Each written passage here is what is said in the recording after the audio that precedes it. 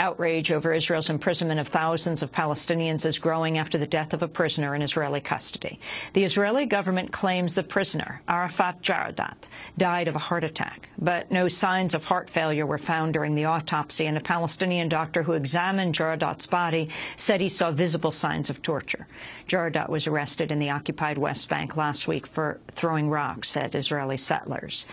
At a news conference in Ramallah, the Palestinian Authority Minister for Prisoner Affairs said Israel's responsible for Jaradat's death.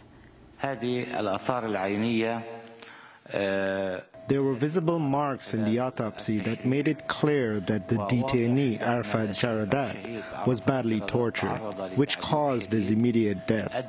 Israel bears the responsibility for killing him during the interrogation. Jaradat's death sparked protests across the occupied West Bank Sunday.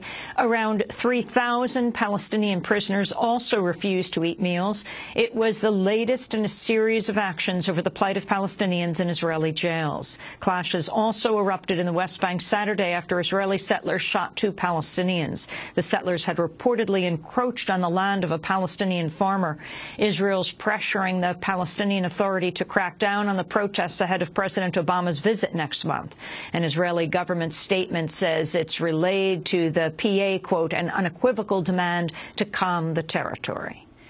Thanks so much for watching this report from Democracy Now!, your daily independent global news hour. We don't accept advertising or corporate funding, but rather rely on donations from viewers like you.